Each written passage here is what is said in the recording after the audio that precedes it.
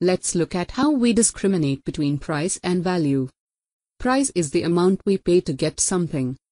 Value is the amount of satisfaction we get from a product. The extent to which a good or service is perceived by its customer to meet his or her needs or wants, measured by customers' willingness to pay for it.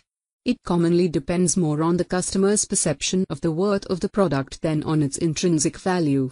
Value is a ratio of the perceived benefits versus the price paid. GNP. The term GNP is the abbreviated form of Gross National Product. It refers to the total monetary value of all final goods and services produced by the citizens of a country within their own country as well as outside the country during a period of one year.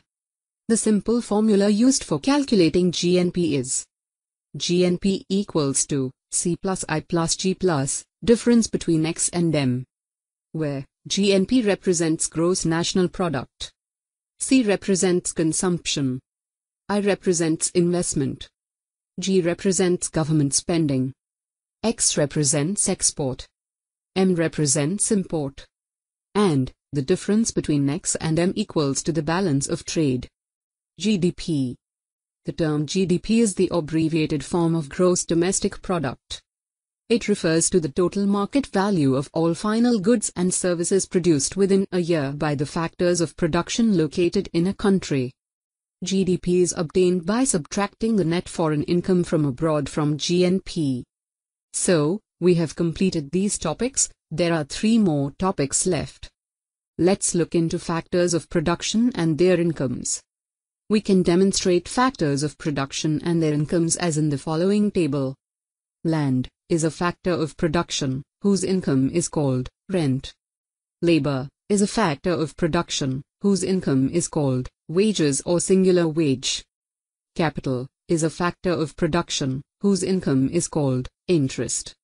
Organizer is a factor of production, whose income is called profit. National income.